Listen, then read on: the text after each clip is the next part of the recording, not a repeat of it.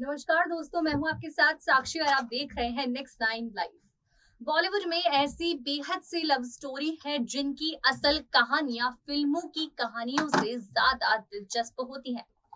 आप सभी हेमा मालिनी और धर्मेंद्र की लव स्टोरी के बारे में तो जानते ही होंगे।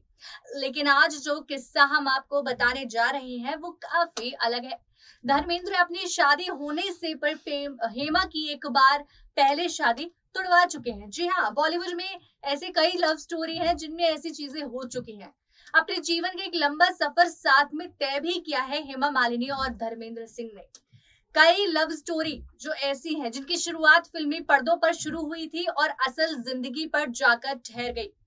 इन स्टार्स की असल कहानियाँ फ़िल्मों की कहानियों से ज़्यादा दिलचस्प होती है, जैसे कि हेमा मालिनी और धर्मेंद्र की लव स्टोरी आप सभी जानते ही होंगे इन लव स्टोरी के बारे में।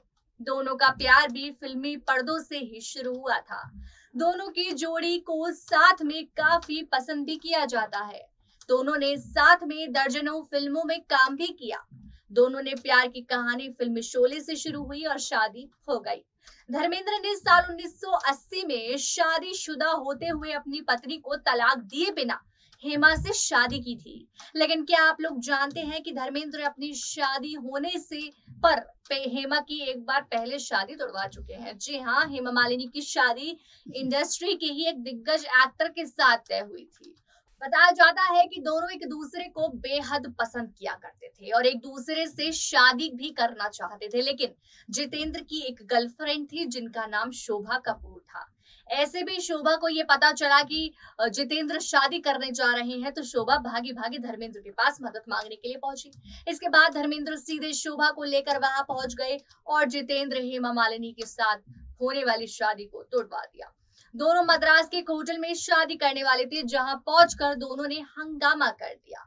इसके बाद हेमा और जितेंद्र की शादी को रोक लिया गया, जिसके बाद जितेंद्र की शादी शोभा से हो गई और धर्मेंद्र और हेमा के बीच नजदीकियाँ बढ़ी और दोनों ने शादी कर ली थी।